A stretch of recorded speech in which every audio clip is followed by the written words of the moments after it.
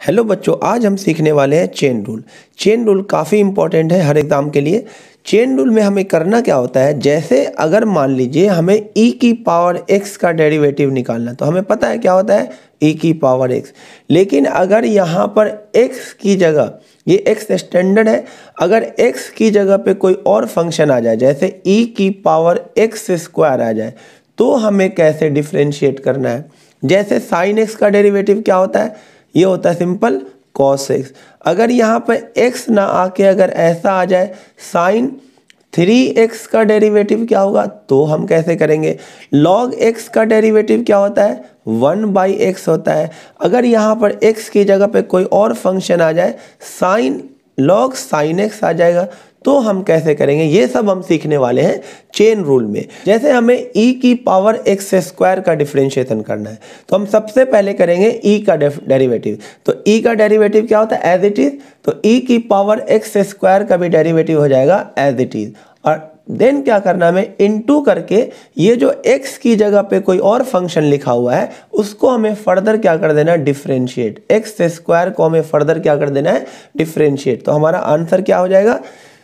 हमारा final answer हो जाएगा e raise to the power x square और एक्स स्क्वायर का डेरिवेटिव हो जाएगा टू एक्स यानी two x e raise to the power x square ये इसका डेरिवेटिव हो गया।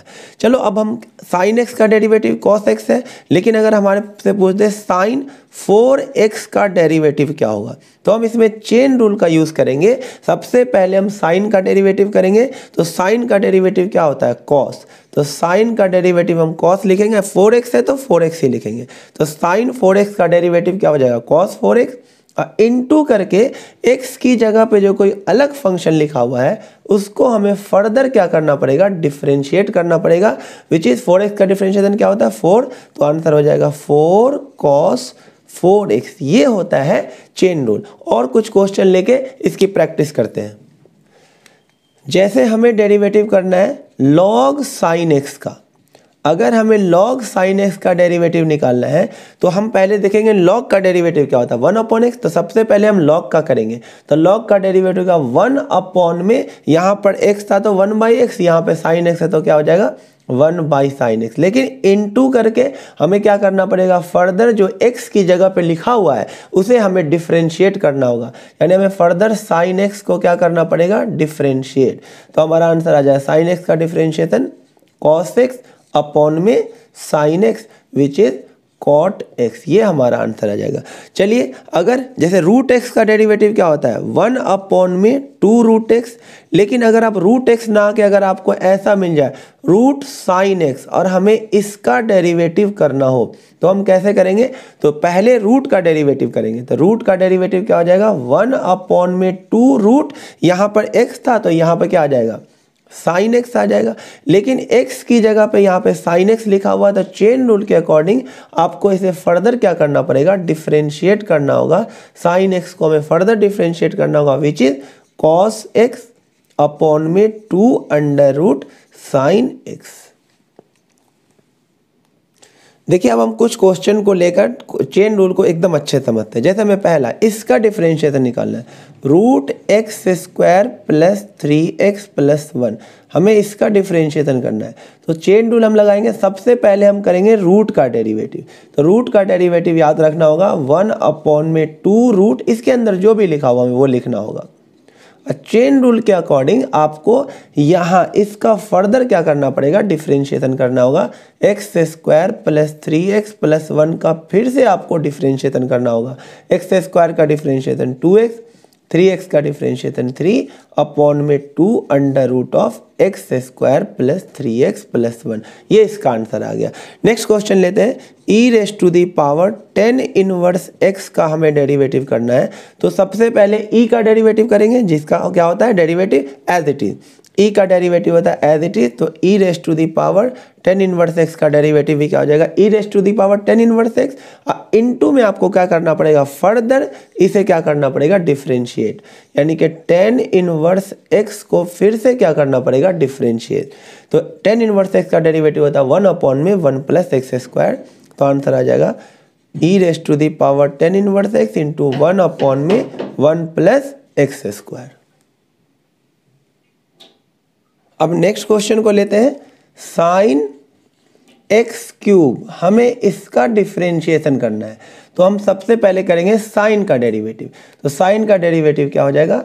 कॉस एक्स क्यूब अब फिर से यहाँ पर एक्स की जगह पे कोई और फ़ंक्शन लिखा हुआ है तो हमें इसे फर्दर क्या करना पड़ेगा? डिफ्रेंशिएट यानी एक्स क्यूब को आपको फिर से डिफ्रेंशिएट करना पड़ेगा तो आंसर क्या आ जाएगा?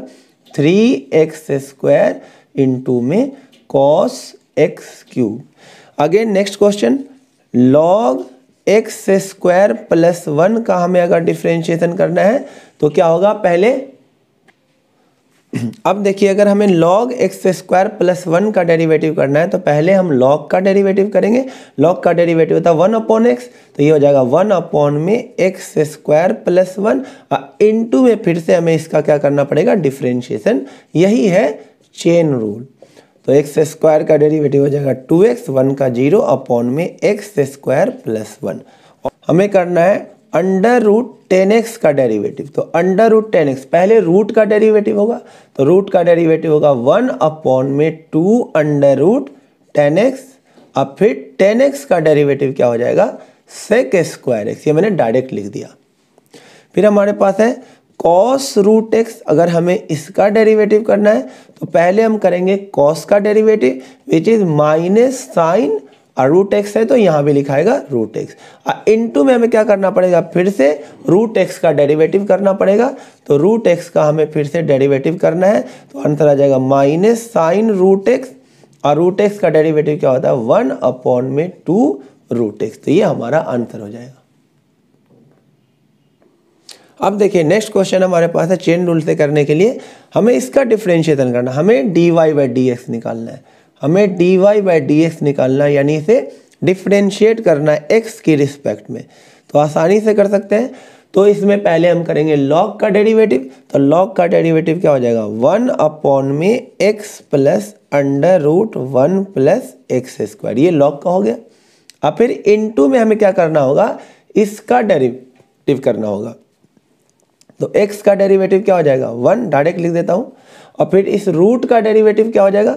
वन अपॉन में two under root one plus x square और फिर इनटू में हमें इसके अंदर वाले का डेरिवेटिव करना होगा टू एक्स तो चेन रूल में कभी कभी दो से तीन बार भी आपको रूल अप्लाई करना पड़ जाएगा।